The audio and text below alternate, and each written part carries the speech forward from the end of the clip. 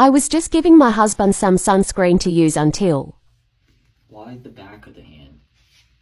Because I just like to kind of use it like this and then put it on.